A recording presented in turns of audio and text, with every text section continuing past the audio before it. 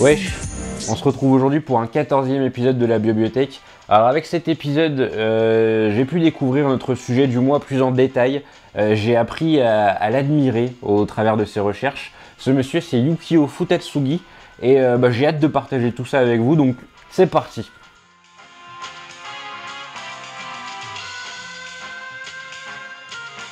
Alors Yukio Futatsugi, il est né en 1970 à Kobe. J'ai pas sa date de naissance euh, précise, c'est la deuxième fois que ça m'arrive depuis le début de la bibliothèque. Ses premiers souvenirs de jeux vidéo remontent à l'école primaire. En fait, il a été amené à passer un an à San Francisco et bah, durant cette année, il a passé énormément de temps sur les bornes de Space Invader et de Pong. Cependant, son premier amour, ça a toujours été le cinéma. Quand il était au lycée, euh, il faisait partie d'une bande de potes où il s'amusait assez fréquemment à tourner des petits courts-métrages et Yukio Futatsugi jouait le rôle du réalisateur. Sauf qu'au moment de choisir plus précisément son orientation, il s'est retrouvé à devoir soit prendre le cinéma, soit le jeu vidéo, et il a choisi le jeu vidéo. Euh, la raison, elle était totalement pragmatique, c'est qu'en fait, euh, il voyait le marché évoluer, puisque là, on était déjà à la fin des années 80, et euh, donc il voyait les grands acteurs comme Sega, Capcom, Nintendo et j'en passe développer des jeux de plus en plus beaux, de plus en plus divertissants. Et il s'est dit que bah, c'était le moment de choper le train en marche et qu'il voulait justement vivre lui aussi cette évolution. J'ai lâché un gros postillon, comme ça. Il va donc partir à l'université de Tsukuba à Tokyo, où il va y étudier l'informatique. Donc c'est un terme un petit peu vague, euh, l'informatique, mais lui, il est, vraiment là pour apprendre la programmation, par exemple, plus en détail. Une fois qu'il aura fini son cursus, il va candidater auprès des, des grands noms du jeu vidéo qui l'intéressent, en l'occurrence Konami, Namco et Sega et il va recevoir des réponses positives de la part de Konami et de Sega, mais il va finalement choisir de partir chez ces derniers. Donc là on est en 1991 et le petit Yukio est fraîchement arrivé chez Sega. La première chose qu'il va faire, c'est qu'il va bosser sur euh, le développement de Shinobi version Game Gear. Donc il va avoir un rôle très mineur, hein. il va s'occuper euh, d'assister euh, certaines tâches. Suite à ça, Sega va le placer en formation pendant presque deux ans. Et là, à ce moment-là, il va apprendre le métier plus en profondeur, il va apprendre plus de choses sur le game design, sur la programmation, etc. etc. Futatsugi, qui ressortait de deux ans de formation intensive, il était remonté comme une horloge, il avait envie d'en découdre. Et il avait une idée en tête qu'il allait exposer directement au patron de chez Sega. C'était de faire un rail shooter en 3D qui reprenait en fait euh, une mécanique de gameplay rencontrée sur Afterburner 2 ce système de verrouillage de cible, alors que Futatsugi n'a jamais rien conçu euh, depuis qu'il est chez Sega. Euh, ils vont directement lui filer une équipe d'une douzaine de personnes à peu près, et cette équipe elle est assez populaire puisque c'est la team Andromeda.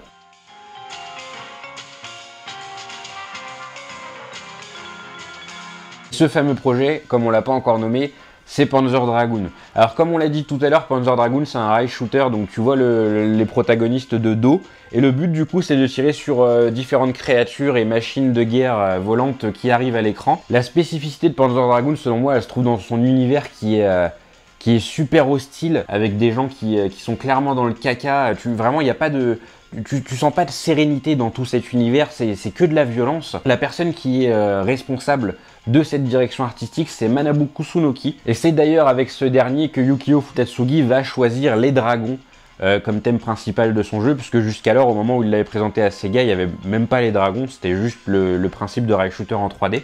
Et pour mettre en place tout cet univers si particulier, Manabu Kusunoki va s'inspirer d'une bande dessinée euh, qui s'appelle Arzak, et qui a été dessinée par un illustrateur français qui lui est cher, qui n'est autre que Mobius. Kusunoki était tellement fan de Mobius qu'il va d'ailleurs lui proposer d'illustrer la, couverture japonaise du jeu. Malheureusement, nous, on l'a pas eu, ça a été exclusif à la version japonaise. C'est devenu très vite un jeu culte de la Saturn. Euh, à un tel point que Sega a directement commandé euh, des suites à la team Andromeda. Et c'est ainsi qu'un an plus tard va sortir Panzer Dragoon Zwei. Panzer Dragoon Zwei, c'est une suite, tout ce qu'il y a de plus classique et efficace hein, pour Panzer Dragoon. Ça passe par plein de petits trucs cool. Euh, bah, par exemple, déjà, maintenant, tu as des phases sur Terre, en plus des phases aériennes, donc ça permet de diversifier un petit peu l'action et le gameplay. Le dragon que tu incarnes, il évolue. Au début du jeu, c'est un petit dragon adolescent avec des petites pattes et des petites ailes. Et au fur et à mesure de ta progression et des points que tu gagnes, bah, ton dragon euh, va évoluer vers l'âge adulte. Et le dernier truc cool, c'est que tu peux prendre différents embranchements en fait à travers les niveaux en réalisant certaines actions. Et selon les embranchements que tu prends, les routes que tu découvres sont plus ou moins difficiles et rapportent plus ou moins de points. Alors attention, Yukio Futetsugi, il n'est pas réalisateur sur Panzer Dragoon Zwei. Il s'est néanmoins occupé euh, d'écrire le scénario avec Manabu Kusunoki, puisque c'est un, peu leur univers, quoi. S'il n'a pas réalisé le jeu, c'est parce qu'il est en train de bosser sur un autre projet lié à la, série Panzer Dragoon, euh, qui était réalisé euh, conjointement à Panzer Dragoon Zwei. Et ce projet, c'est Panzer Dragoon Saga, qui est aussi appelé euh, Hazel Panzer Dragoon RPG au Japon. Le développement, il a été euh, extrêmement éprouvant, euh, tant physiquement que, mentalement. la première raison, bah, elle est entre guillemets évidente, c'est que bah, comme son nom japonais l'indique, Hazel Panzer Dragoon RPG est un RPG, donc ça n'a plus rien à voir avec, avec le jeu d'action qui était Panzer Dragoon jusque-là. Donc les mecs de la team Andromeda ont dû réapprendre euh, à, concevoir, euh, à concevoir un nouveau type de jeu. Et qui plus est, l'équipe de développement de Panzer Dragoon Saga, elle a été face, euh, durant le développement du jeu, à une double tragédie, puisqu'il y a deux membres de l'équipe qui sont morts dans un très court laps de temps, de deux façons assez brutales. Ça a été extrêmement dur à gérer. Quand Yukio Futatsugi l'évoque en interview, tu, sens qu'il n'est pas extrêmement à l'aise avec tout ça. Et tout ça, tu le ressens hein, quand tu vois Panzer Dragoon Saga. Euh, Futatsugi a écrit le scénario seul. Euh, ça a été l'occasion pour lui d'aller plus en profondeur euh, dans l'univers qu'il avait créé avec les deux, premiers Panzer Dragoon. Cette fois-ci, tu incarnes Edge, qui est un jeune garçon qui était agent de sécurité sur un espèce de site archéologique. Et un jour, ça va un peu partir en sujet sur le site archéologique et il y a un androïde nommé Hazel, d'où le nom japonais du jeu, qui va, qui va surgir. Elle était là depuis plusieurs centaines d'années, elle était endormie et euh, elle va face à sa propre personnalité, euh, euh, face à ses émotions, face à son côté, machine et son côté un petit peu humain en même temps. Elle va devoir gérer tout ça. Il y a une relation qui va se tisser entre les deux personnages et, c'est vraiment une très jolie histoire. J'aurais aimé y passer plus de temps, mais c'est tellement complexe que ça me prendrait une émission entière. Mais je vous invite vraiment à aller, à aller checker l'histoire de Panzer Dragoon Saga. C'est vraiment une belle histoire. Et pour finir sur Panzer Dragoon Saga, c'est le premier épisode où la musique a été composée par Saori Kobayashi. Euh, la bande son des deux premiers Panzer Dragoon était déjà complètement dingue. Euh, celle de Saga est, magistrale, vraiment elle fout les poils. Euh, si jamais vous voulez l'entendre ou avoir des anecdotes dessus, je vous invite à aller écouter la soundtrack du dimanche de Pazou sur Panzer Dragoon Saga qui sort ce mois-ci. Une fois Saga achevé, euh, Yukio Futatsugi va quitter ses collègues de Team Andromeda et quitter Sega tout court. Le jeu va sortir à la toute fin de la Saturn et il va connaître une sortie très timide parce que Sega est déjà, sur autre chose, ils sont déjà sur la Dreamcast. Euh, Yukio Futatsugi euh, va garder un souvenir assez doux amer de toute cette expérience. C'est son jeu du cœur, Panzer Dragoon Saga, c'est le plus beau projet qu'il ait fait dans sa vie. Mais euh, comme on l'a dit, ça a été difficile et puis le jeu au final n'a pas vraiment eu la reconnaissance qu'il aurait dû avoir.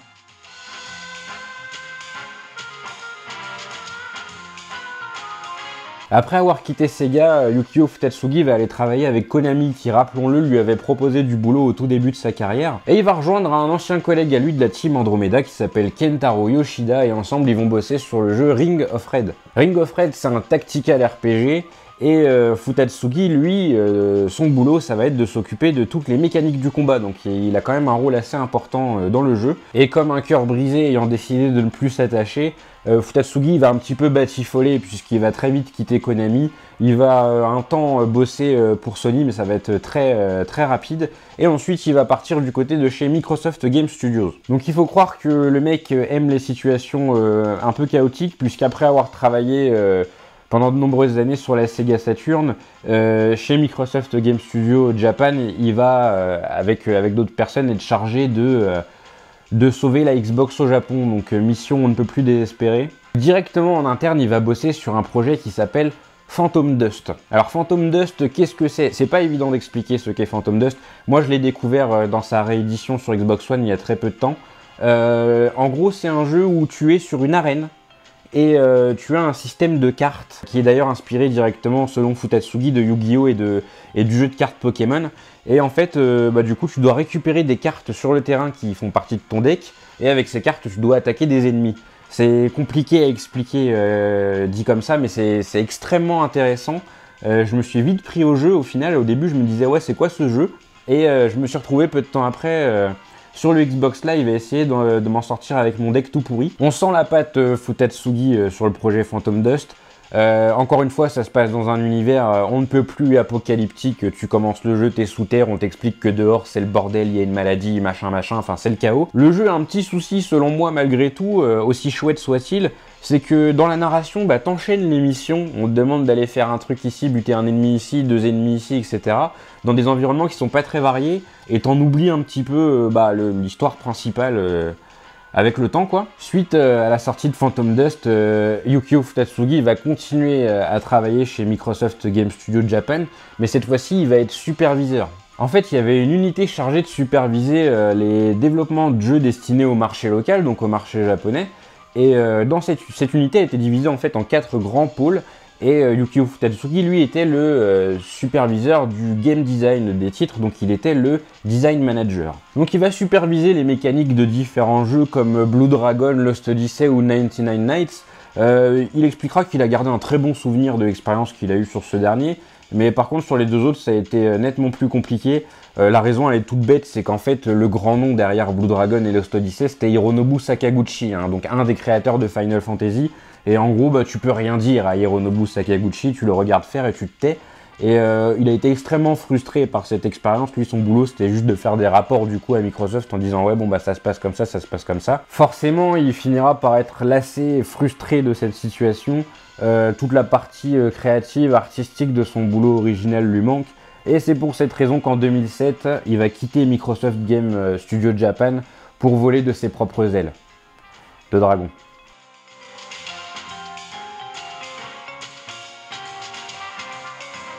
Et c'est ainsi qu'en 2007, il va fonder Grounding avec des anciennes connaissances à lui, des anciens collègues.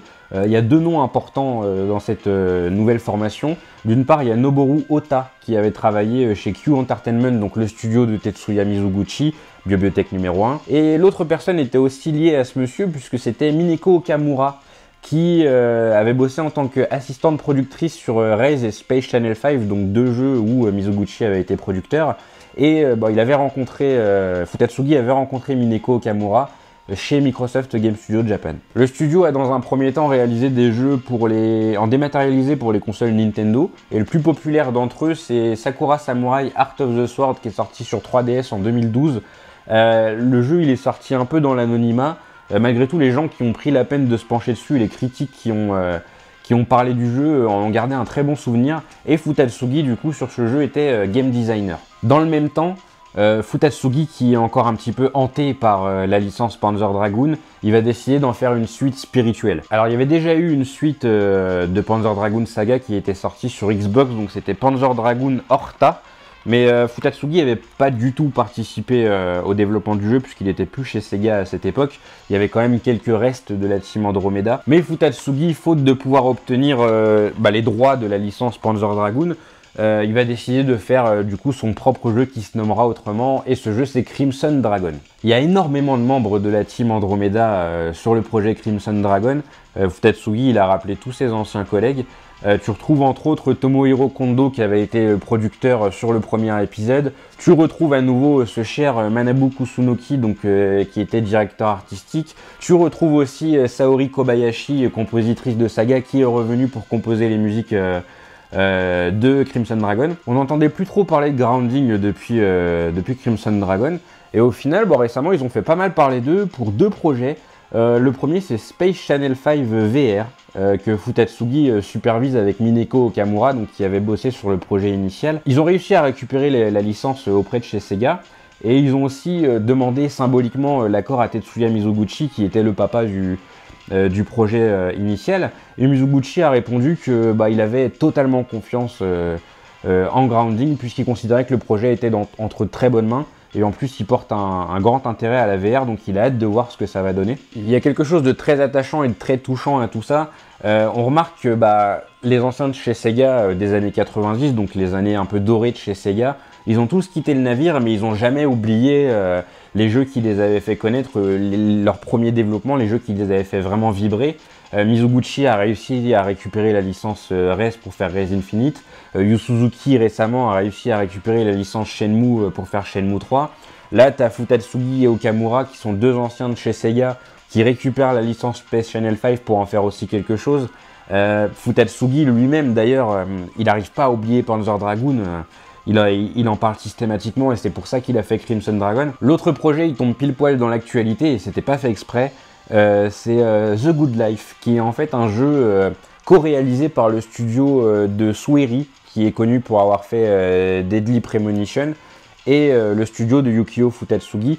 Donc Sueri euh, s'occupe de toute la partie scénario, il dirige le jeu, etc. Euh, Futatsugi, lui, est en tête du développement pur du jeu, donc il s'occupe de toute la partie technique. Comment expliquer The Good Life très succinctement? Bon, déjà, il faut savoir que le jeu avait eu une première campagne de crowdfunding, pardon, qui n'était pas arrivée à ses fins, et là, ils viennent de relancer tout récemment une campagne sur Kickstarter pour euh, espérer arriver au bout du projet. Ils ont montré plus d'images, ils ont plus, euh, de choses à montrer pour convaincre les gens. Euh, en gros, ça raconte l'histoire de Naomi, qui est une reporter new-yorkaise et qui va s'installer dans une petite ville britannique pour rembourser ses dettes en essayant de choper un scoop. Et en fait, cette ville, c'est euh, la ville euh, où les gens sont le plus heureux sur Terre. Donc elle essaye de... Elle mène une petite enquête pour comprendre pourquoi ces gens sont si heureux. Il y a une enquête à mener parce qu'il y a eu un meurtre dans la ville. Euh, tu peux te transformer en chien et en chat parce qu'il y a des trucs mystiques, etc. Enfin, vraiment, le jeu est très profond, très intéressant. je suis très curieux de voir ce que ça va donner. J'espère vraiment que le, crowdfunding va arriver au bout du truc. Pour conclure sur ce cher Yukio Futatsugi, bah, comme je vous l'ai dit en, début d'émission, euh, vraiment ces recherches, elles m'ont passionné. Euh, Futatsugi, c'est quelqu'un euh, d'extraordinaire, c'est quelqu'un de très humain. il a eu plusieurs phases dans sa vie, ça n'a pas été souvent très simple. Au final, il n'a jamais vraiment connu le succès. Les jeux de Futatsugi, c'est des jeux de niche, c'est des jeux assez intimistes. Il l'a peut-être mal vécu au début, mais plus tard dans sa carrière, quand il était chez Microsoft, il le disait Moi, je fais des jeux vidéo pour les gens qui aiment le jeu vidéo, euh, toutes ces histoires de casual gaming, la Wii, etc., je veux pas en entendre parler. Euh, je fais des jeux pour un public bien précis. Mon but c'est pas de plaire à tout le monde parce que les jeux qui plaisent à tout le monde, ils ont vocation à être oubliés euh, avec le temps. C'est des paroles assez, assez dures, mais en même temps ça montre ses convictions. L'autre truc chouette avec Yukio Futatsugi aussi, c'est sa culture de l'équipe. en gros, on a souvent tendance à résumer certains projets, certains jeux à une seule personne. J'essaye de pas le faire, hein, c'est pour ça que j'essaye d'évoquer des noms qui gravitent autour de certains projets. Euh, mais pour Yukio Futatsugi, c'est quelque, quelque, chose pardon, qui lui est cher. Euh, c'est pour ça que quand il fait Crimson Dragon, euh, Phantom Dust, etc., il va rechercher ses anciens collègues de la team Andromeda ou qu'il a connu par la suite. Et j'ai trouvé ça très cool de sa part de pas s'allouer tous les mérites et de, faire preuve d'une grande humilité et de mettre en avant toute sa famille au final, celle, qui, celle avec qui il travaille depuis plus de 20 ans maintenant. C'est tout pour ce 14e épisode de la bibliothèque. Alors avant de, vous dire au revoir, je voulais, euh, vous montrer deux ouvrages. Comme d'habitude, hein, j'ai été chopé pas mal d'interviews et d'articles euh, pour cet épisode, mais il y a eu deux ouvrages français bien chouettes que je voulais mettre en avant. Euh, le premier c'est Level Up Niveau 2 qui a été édité par Sœur d'édition. si je l'évoque, c'est parce qu'il y a tout un article qui a été écrit par Damien Méchéry sur Panzer Dragoon Saga. Moi qui connaissais pas euh, la licence, ça m'a permis de mieux comprendre l'histoire avec un, point de vue assez, euh, intéressant et en plus c'est super bien expliqué et très rapidement. Donc euh, bravo Damien pour cet article. Le deuxième ouvrage, c'est le Pixel Love numéro 19 sur Panzer Dragoon. Donc là aussi, il y avait toute une, interview de Yukio Futatsugi euh, qui était super cool. Nous on se retrouve très bientôt pour un 15e épisode de la bibliothèque qui sera du coup multiple de 3 oblige une bibliothèque musicale. N'hésitez pas à vous abonner à la chaîne YouTube de Merugizu bien entendu et à aller voir nos autres contenus parce qu'il faut savoir que cette bibliothèque entre dans une thématique qui est le mois du dragon et du coup sur notre SoundCloud on a aussi enregistré un podcast destiné à ces chères créatures et les deux soundtracks du dimanche du mois euh, réalisés par Pazou vont aussi tourner autour de jeux qui euh, concernent les dragons, donc dont Panzer Dragoon. Donc n'hésitez pas à aller voir tout ça sur le SoundCloud. Après cette petite auto-promo, bah, je vous quitte, euh, je vous dis du coup à très bientôt pour ce 15e épisode, et d'ici là, portez-vous bien. Salut